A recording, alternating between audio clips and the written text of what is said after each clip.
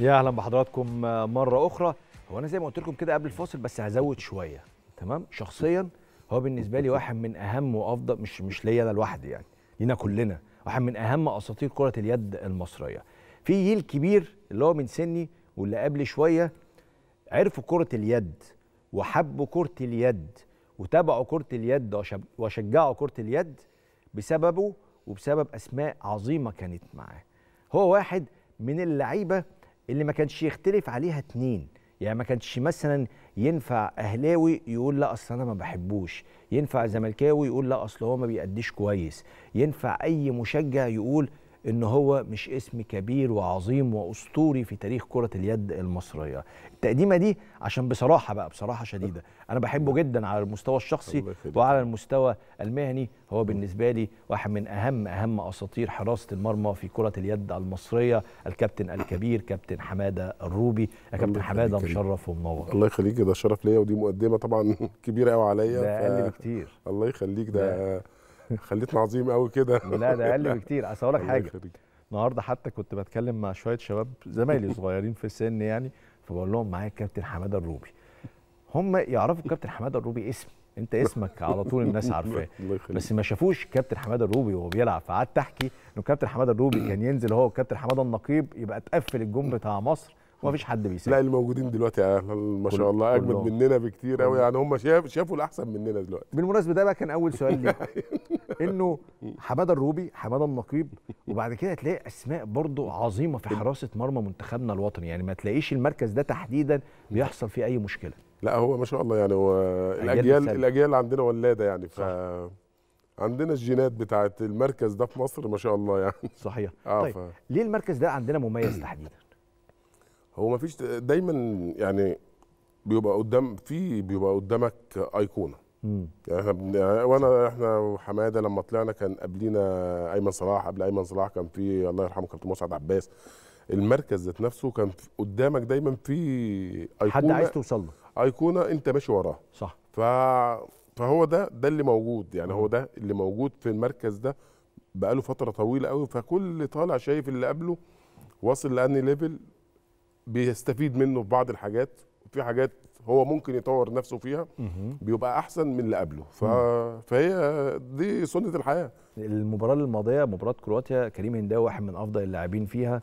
النهارده حميد أفضل لاعب في هذه المباراة. المواجهة. حاجة رائعة جدا. لا هو المركز ما شاء الله عندنا في مصر. عندنا في مصر المركز عندك أنت في مصر دلوقتي مش أقل من أربع خمس حراس ست حراس في مصر في المركز ده. صح. كلهم مميزين يلعبوا في أي حتة. في العالم. صح. طيب أسألك بقى بشكل عام الأول بعد كده نخش تفصيلا على مباراة كرواتيا ومباراة المغرب. ليه منتخبنا الوطني حاسين إن هو واقف على رجله؟ منتخب تقيل تقيل يعني تقيل كده بلغة حتى الكرة بتاعتنا بتاع كرة القدم يعني بس منتخب تقيل واقف على رجله آه ما تحسش إنك قلقان عليه وهو بيلعب؟ ما ليه؟ آه. المن... العناصر. آه. يعني أنت المنتخب ده بدأ إعداده إعداده بدأ من أربع سنين. مم. الإعداد المنتخب ده بدأ من أربع سنين. المنتخب ده فيه عناصر كسبانين كاس عالم لعيبة في المنتخب الموجود ده لعيبة كسبت كاس عالم. فال level بتاع البطولات دي كسبوا كاس عالم شباب ناشئين. صح. في لعيبة واخدين ثالث عالم شباب. صحيح. فال level بتاع ال- البطولات العالم أو المنافسة في بطولة عالم. اللعيبة دول يعني كل اللعيبة دي عاشته. ده واحد. اتنين عندك سبعة تمن لعيبة بيلعبوا في أوروبا. بيلعبوا في, في, دوريات class A. بيلعبوا في دوري أبطال أوروبا. فدولت مع العناصر الشابة اللي طلعت بتلعب في المستوى بتاع بطولات العالم عاملين mix دلوقتي ما شاء الله رهيب بجد عظيم، يعني. عظيم. عندنا جيل أنا وجهة نظري ده أجمد جيل جه في اللعبة دي في مدار تاريخها. يا ده أجمد جيل. ده أجمد جيل. ممكن نوصل معاه لحد فين؟ الطبيعي إن يعلق ميداليه يعلى ميداليه الطبيعي إنك أنت دلوقتي لما بيجي نصنف منتخبات العالم بس هو طبعا ربنا يبعد عنهم الإصابات ويكملوا. لما نيجي نصنف منتخبات العالم لو قلت لك على خمس ست منتخبات مصر موجودة وسطيهم على طول. آه. وبقى لنا اتنين كأس عالم في سابع تامن. صح. آخر اولمبياد دخلنا رابع. صح. فالقصة دلوقتي أنت مش ناقصك حاجة غير إنك تعلق ميداليه. ده ده ده ده ال target المفروض اللي الجيل ده يعمله. إن شاء الله إن شاء الله يعملوا البطولة دي. لا وأنا لما آخد الجملة دي من الكابتن حمادة الروبي اللي هو عايش جيل عظيم جدا وأسطوري لمنتخب مصر لكره اليد لما تقول لي ده أفضل جيل في التاريخ فخلاص أنا همشي وراك. لا ما هو أفضل جيل لأسباب لأسباب في ال handball ذات نفسها. أنت آه. بتتكلم في جيل كامل. أنت آه. بتتكلمش يعني إحنا مثلا كنا كان في عناصر مميزة عظيمة. آه بالظبط. إحنا كنا فرقة كويسة. كنا صح. آه كنا جيل آه جيل كويس. بس مش كل المراكز كانت كاملة عندنا. كان. عندنا بعض الدروبات في بعض المراكز. مم. لكن الجيل ده الأكثر اكتمالا. كل المراكز موجودة فيه. يعني انت بتيجي بتشوف لا كل المراكز. هو طبعا هو يحيى خالد غياب. يحيى خالد طبعا في المستوى اللي بيلعب فيه مم. شيء طبيعي على الأصل بس لحد وقتنا هذا لحد وقتنا هذا آه محسن رمضان ومهاب ما شاء الله عاملين مستوى سادين آه فراغ كبير من عدم وجود يحيى خالد يعني. آه مش شرط يبقوا يحيى خالد بس على الأقل قريبين جدا من آه. آه لا سادين فراغ. الدور قايمين بدورهم على أكمل وجه آه. ما شاء الله. لكن طبعا يحيى خالد كان كان إضافة أكتر. فرق معانا. فكرة إنه بقى عندنا محترفين كتير موجودين في أوروبا في منتخب كرة اليد؟ هو ده اللي رافع مستوى الفرقة دي كده. آه. الرهبة الرهبة إحنا ما هي ما هي الفكرة إحنا مثلا في جيلنا. كانت آه، وصلنا للمراحل دي ليه؟ إن إحنا كانت كل ما إحنا ما كانش عندنا محترفين. امم ساعتها ما كان الاحتراف موقوف. بس وصلنا للمرحلة دي لأن كانت كل معسكراتنا في أوروبا. امم فالرهبة إنك أنت بتلعب فرق أوروبا راحت منك في كم المعسكرات اللي كنت عايش فيها في أوروبا. الجيل ده عندك 8 لعيبة عايشين أصلا في ال level ده مم. بيلعبوا في ال level ده. مم. فمع الرهبه أصلا مش موجوده عندهم فخلاص فبينزل بيلعب في في نفس المستوى اللي هو بيلعب فيه في أوروبا يعني. أنا ما كنتش عايز أربط الربط ده دلوقتي بس هربطه عشان اتكلمت معايا في المحترفين. ليه في مصر الأندية عندنا بتوافق بسهولة؟ مش بسهولة قوي يعني بس بتوافق على فكرة إنه اللاعبين يطلعوا للاحتراف في أوروبا في كرة اليد. لكن في كرة القدم الموضوع ده مش موجود. اشمعنى في كرة اليد الأمور سهلة؟ الأمور سهلة في كرة اليد دي مبدئيا مش رغبة أندية. آه. دي رغبة لعيبة. آه. يعني العقلية اللعيبة في مصر اللي بيلعبوا اللعبة دي مم. لا من ضمن أهدافهم من ضمن target هم إن هو يلعب ال Champions League مثلا. مم. ده من ضمن أهداف كل اللعيبة اللي. موجودة في مصر. آه. بطولة أوروبا. آه. كل ده هدف من أهداف كل اللعيبة اللي بيلعبوا اللعبة دي آه. في مصر. إن هو بالنسبة له هو ده الكرنفال الكرنفال بتاع بتاع بتاع اللعبة ذات نفسها مش دوري محلي ولا آه افريقيا يعني ولا واحد يقول لك إيه يا عم أنا ده حلو أنا قدام أنا مع نادي الزمالك ونادي عظيم أنا مع النادي الأهلي ونادي عظيم لا هو بيلعب مع أندية عظيمة فعلا بس عايز يبقى عنده لا. هو ما هو أنت ما خلي بالك برضه أنت مع الزمالك طبعا نادي عظيم في اللعبة دي والنادي الأهلي نادي. عظيم في اللعبة دي بس آه، بطولة أوروبا أعظم. أكيد. أيوه. level تاني. أيوه. أنا أقصد ما. بيكتفيش بهذه العظمة اللي هو موجود فيها لا هو بتبقى. بالنسبة للعيب آه. فترة يعني هي بتبقى مثلا عندك مثلا آه، يحيى الدرع. آه.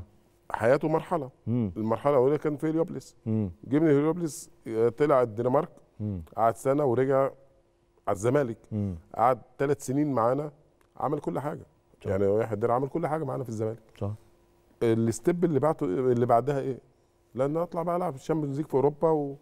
وأحقق أهداف تانية. في أهداف أنت عمال تبنيها طول ما أنت أصل أنت اللعيب رحلة.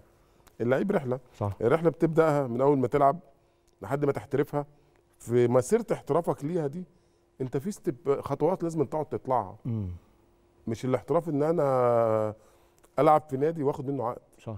الاحتراف بيبقى احتراف مستوى. صحيح. مش فلوس. الاحتراف اللعيبة بتطلع أوروبا ممكن تاخد أقل من مصر. يا يعني- يعني مهمة آه. آه، اللعيبة عندنا في الهاندبول آه. ممكن في أوروبا ممكن ياخدوا رقم أقل اللي بياخده في مصر. آه. بس هو الفكرة إن هو بيتكلم في مستوى ما بيتكلمش في, في مادة. هايل. بيتكلم في مستوى يعني أنت اللعيب في مصر لو ممكن يطلع الخليج آه. هياخد فلوس أكتر من اللي هياخدها في أوروبا واللي في هياخدها مصر. في مصر. آه. لكن هم الناس لا الموضوع العقلية العقلية عندهم. الموضوع اللعبة ذات نفسها. هنا معلش أنا بوسع الموضوع شوية. هنا دايما يتحدث الناس عن عقلية الشاب المصري. لما بنيجي نتكلم على كرة القدم يقول لك أصل عقلية الشاب المصري أنت عارف هو مبسوط هنا وخلاص. دلوقتي تتحدث معايا عن عقلية شاب مصري موجود في كرة اليد.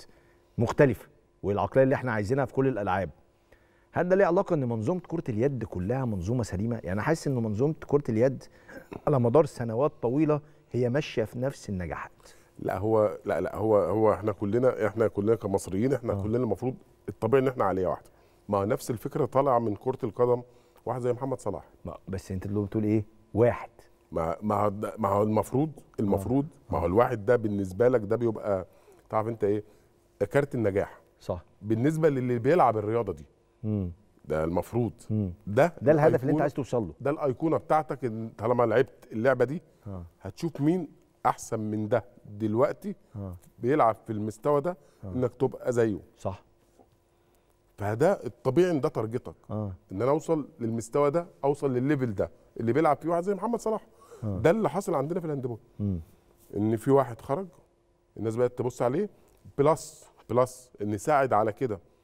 قناة زي قنوات المصرية بدأت تنقل دوري أبطال أوروبا صح. خلت اللعيبة ذات نفسها يعني إحنا مثلا عندنا في ال handball الدوري ما بيتنقلش بطولة أوروبا بتتنقل على القنوات المصرية. مم. فخلت اللعيبة ذات نفسها لا شافت المستوى شافت ال level. عاوزة تروح لل- للحتة دي عايزة تروح للحتة دي. هو ده الطبيعي كان يبقى موجود في الكورة. هايل. طيب مباراتي كرواتيا والمغرب أو المباراتين لمنتخبنا الوطني. حضرتك شفت المستوى إزاي في المباراتين؟ ناس اللي ما تبقاش دايسة قوي في كرة اليد أو فاهمة قوي في كرة اليد يقول لك إيه ما هو المباراتين سهلتين فعادي ما إحنا هنكسبهم كده كده المهم اللي جاي صعب أيوه هي دي النقطة بقى. لا كرواتيا مش سهلة. آه. آه. كرواتيا فرقة تاريخها تاريخها في اللعبة دي آه. آه معدينا بسنين ضوئية. آه. آه مباراة امبارح. أنت لاعب مباراة كويسة قوي الفرقة لعبة مباراة كويسة قوي لعبة مباراة تكتيكي حلو قوي آه. الراجل المدرب عامل مباراة تكتيكية دفاعيا عظيمة. عندك اللعيبة كلها كانت في حالتها مم. في حالة بدنية وحالة ذهنية. إنك تقدر تكسب كرواتيا فرق تسعة اجوان. لا ده عندنا في في اللعبة مع تاريخ كرواتيا لا الموضوع عاملين إنجاز. آه. لكن المغرب الأمور إحنا كعبنا عالي على المنتخب المغرب. لا أنت في فرق مستوى. آه كريم ال handball. ال handball لعبه مستويات. واضحة. ال handball دي لعبه مستويات مش زي الكورة. آه. الكورة ممكن مثلا تعمل مفاجأة. فيها مفاجآت. يعني أنت آه. مثلا أرجنتين بطل عالم. آه. أول ماتش ليها في كأس عالم تخسر من السعودية. خسرها من السعودية. صح. فرق المستوى ما بين الأرجنتين والسعودية في فرق. صحيح. ال handball لعبه مستويات. لما يبقى الفرق كده ما بيحصلش ما بتحصلش مش بقى ممكن لا لا ما بتحصلش. مم. إن لما يبقى الفرق كده إن ده يكسب ده. مم. ما بتحصلش. لكن صح. لما يبقى الفرق كده وارد. وارد. آه. فهي ال handball لعبه مستويات. ففكرة كرواتيا لا إحنا وكرواتيا ال level قريب. آه. كان سهل جدا ممكن كرواتيا تكسب. أه. بس إنك أنت تاخدها. تسعة صح. بالفارق ده لا أنت عامل جيم كويس قوي هايل. طيب. المغرب آه. المستوى لا إحنا بعاد عنها في المستوى. فالنتيجة منطقية وطبيعيه طبيعي. طيب. النهارده اراحه كريم هنداوي؟ من وجهة نظرك ده قرار صحيح من المدير الفني؟ آه. صحيح. صح مليون في المية. ليه بقى؟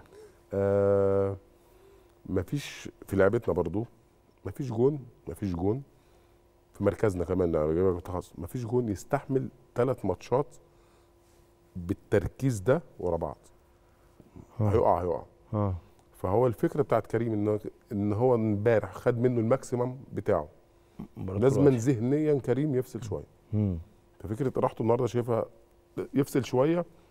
بالنسبة لك كمان أنت عارف إن الماتش المغرب ما عندكش مشكلة فيه. مم. موضوع بالنسبة لك سهل. إنك أنت عندك خناقة بعد كده في الدور الثاني أيوه. فانا شايف إن هو قرار صح جدا إن هو يريح كريم من الحاجات اللي أنت لفتت نظري ليها دلوقتي إنه ناس كتيرة بتقعد تسأل تقول لك إيه ما هو كريم هنداوي ماشي كويس أنت بتريحه ليه؟ ده بيحصل في مباريات عامة يعني. في كرة اليد يقول لك ما هو ماشي كويس هو بيطلعه بره ليه؟ هو بيقعده ليه؟ هو لا؟ لا الضغط يعني إحنا برضو المركز في كرة اليد غير كرة القدم. آه. يعني المركز ده كرة القدم يقول لك سيب الحارس عشان آه، ياخد حساسية عشان المباراة ياخد سيبه. حساسية المباراة آه سيبه يكمل سيبه يكمل آه. سيبه يكمل. بس لو أنت حارس كرة القدم مثلا في المباراة ذات نفسها ممكن يروح عليه سبع ثمان كور.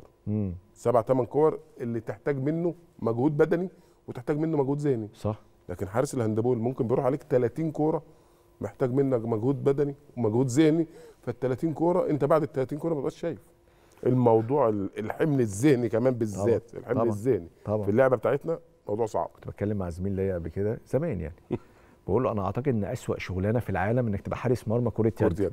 أنت طول الوقت مضغوط وطول الوقت بتتم عليك الكورة. طول الوقت المفروض مركز وب... لا ما بقول لك أنت صعبة. 60 دقيقة بتبقى مضغوط. لا مش موضوع مش المركز ذات نفسه مركز صعب جدا يعني من, من أصعب مركز أصعب مركز في الملعب. يعني أنت اللعيبة لا بتتضرب في احتكاكات في احتكاك جسماني مش طبيعي. طبعا. لكن بالنسبة لمركز حراسة المرمى ما يجيش آه، 1% 10% ماكسيمم من من المجهود الذهني آه. اللي بيعمله حارس طيب. المرمى. مشوار منتخبنا الوطني في هذه البطولة شايفه هيمشي إزاي؟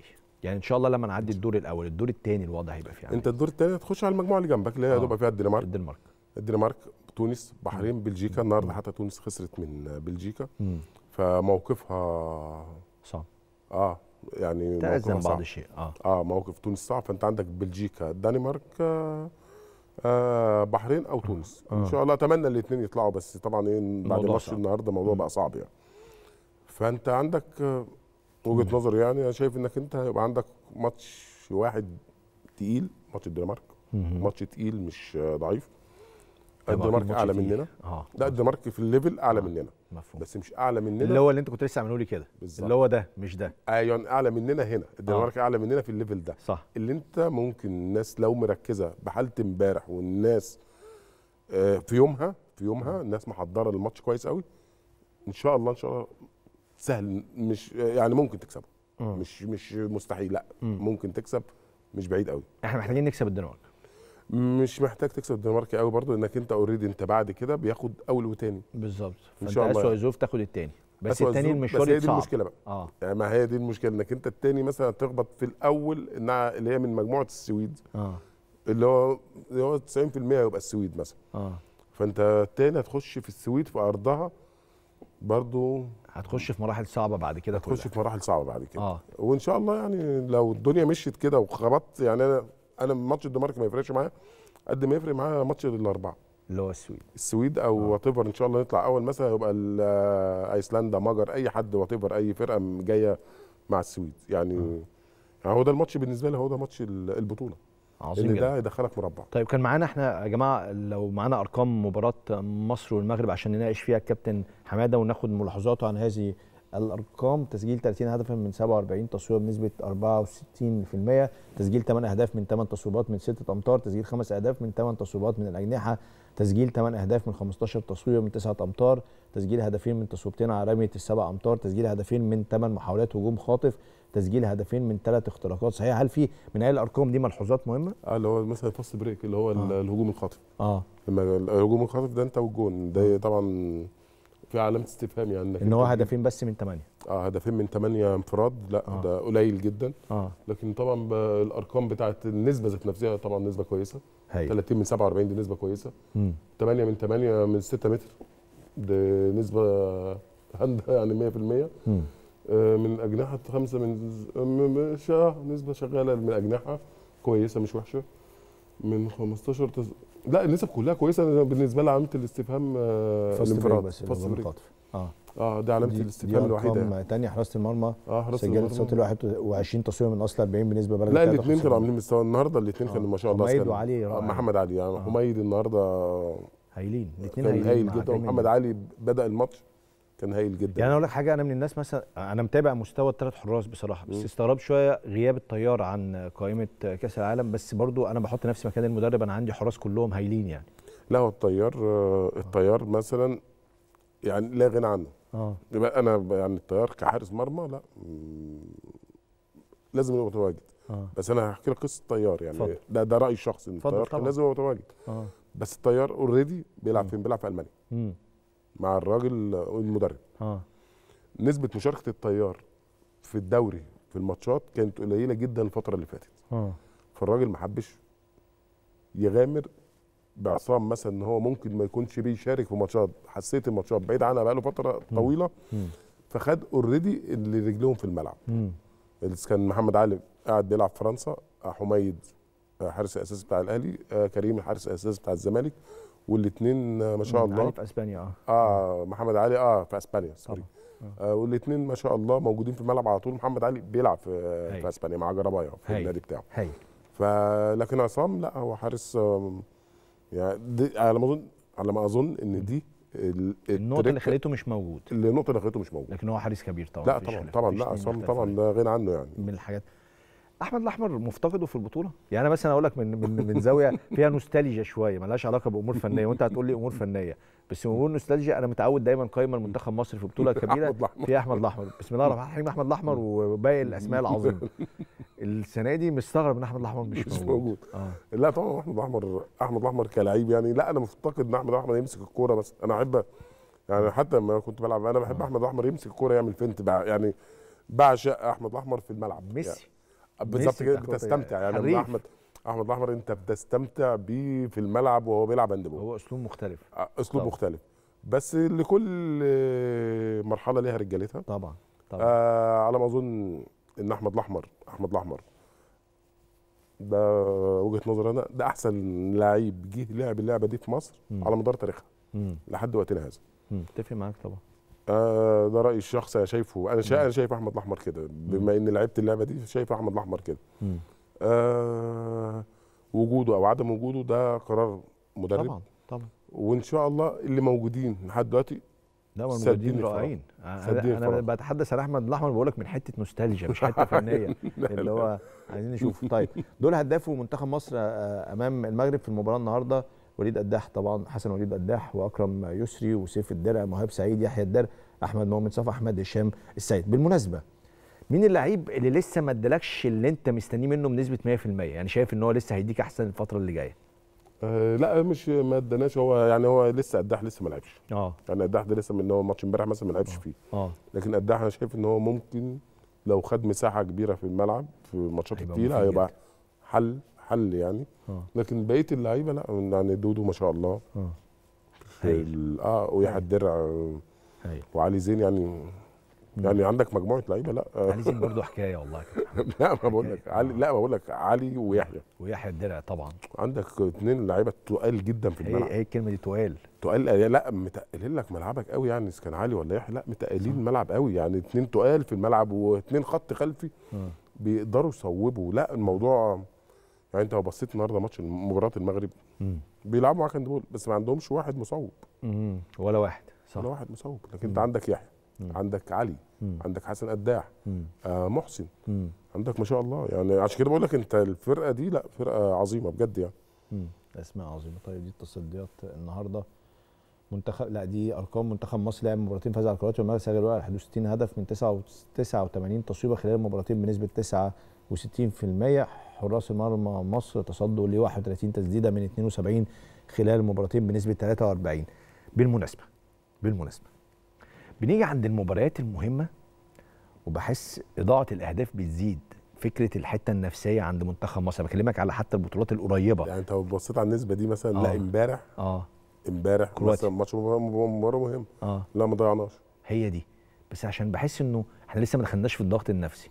لما ما بنخش. على الأدوار المتقدمة وبيبقى في ضغط نفسي بحس إنه بيبقى في توتر لا دي بترجع برضو أنت أنت أنت فيها عوامل كتير آه غير الضغط النفسي اللعيبه دي مش هتقع تحت الضغط النفسي لأن هم الدوري بتاعهم أو البطولات اللي بيلعبوها هم طول النهار تحت الضغط النفسي هايل الفكرة كلها المنافس آه. مش الضغط النفسي قد المنافس مم. أنت ممكن يعني أنت امبارح برضو كرواتيا كان كان فيها مشكلة في مركز حراسة المرمى. ما كانوش كويسين خالص يعني. الحراس بتوع كرواتيا ما كانوش كويسين خالص. فانت لما بتلاعب حارس من ضمن الحراس هي دي هي دي نقطة ال- المشكلة اللي ممكن تقابلنا إحنا كمان لما بتلاعب حارس ال quality بتاعه class A زي لاندن مثلا زي وولف زي زي فارجاس في أسبانيا لا زي حارس السويد آه، اللي هم اللي هم بيخطفوك. آه، اللي هو. بي بي بي بيهبطوك. لا, لا حارس. آه. لا آه. حارس في نفس ال level العالي دوت بيبقى هو زي ما انت بتشوت هو قاعد بيذاكر. آه. لا حراس بيبقوا category A كده ما بتعرف الموضوع ما بيبقاش سهل برضه. إن الكرة تعدي من المدافعين وتعدي من الحارس الموضوع ما بيبقاش سهل. فأنت اوريدي بتضيع والمنافس بيضيع. فهي التضييع الكتير حسب الحارس اللي واقف. آه. لو حارس في يومه الموضوع بيبقى صعب إن تخش. معاك معنويا بقى. نفس الفكرة كذا كريم. هنداوي امبارح. آه. نفس الفكرة بتاعت حميد ومحمد علي النهارده. صح. الكوره مش سهلة إن هي تخش. آه. يعني المغرب من على 6 متر الكوره مش سهلة. لا في حراس فاهمين هم بيعملوا إيه في الجون. صحيح. بس صحيح. هي دي حارس يعني الموضوع حارس ودفاع. كابتن حمادة أنت دايما مشرف ودايما بتنور. دايما يعني. خطوتك. عزيزة. أنا بشكرك. أنا بشكرك. وميرسي ليك ومتشكر طبعا لوجودي معاك يا النهارده حبيبي أنا